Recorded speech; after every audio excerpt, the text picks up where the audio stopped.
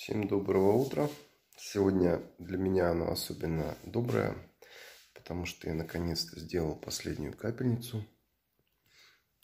Думал убежать вчера, но доктор сказал, что еще надо сделать капельницу. Поэтому пришлось еще сутки находиться в больнице. И вот наконец-то, наконец-то я ее сделал, и теперь можно сваливать. Я собрал кровать, как меня просили. Вот, даже одеялочку свернул. Просили просто снять белье. Но мне не сложно. Есть еще время до поезда. Вот, получил документы.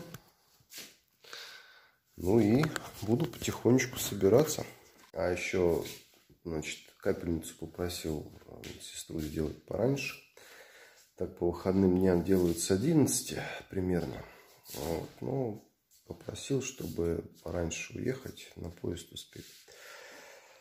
Вот. И, ну, как водится, шоколадку я ей хотел э, вручить на отрез. Нет, и все, прекратите. Ну ладно, потрачу шоколадку на другие добрые дела.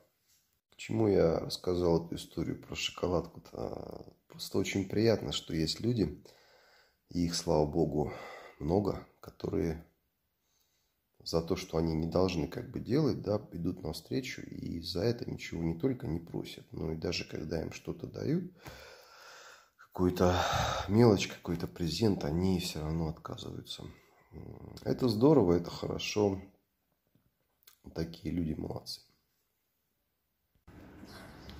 Ну вот, выжидая время, вышел на улицу рюкзак килограмм на 5 набитый вещами, тапочками. Сейчас кофе попью и вперед.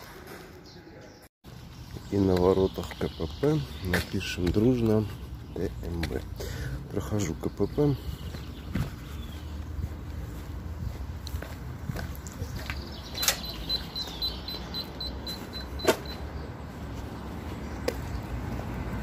Все. 10 дней не был в обществе. Дичал немножко. Теперь до метро километр.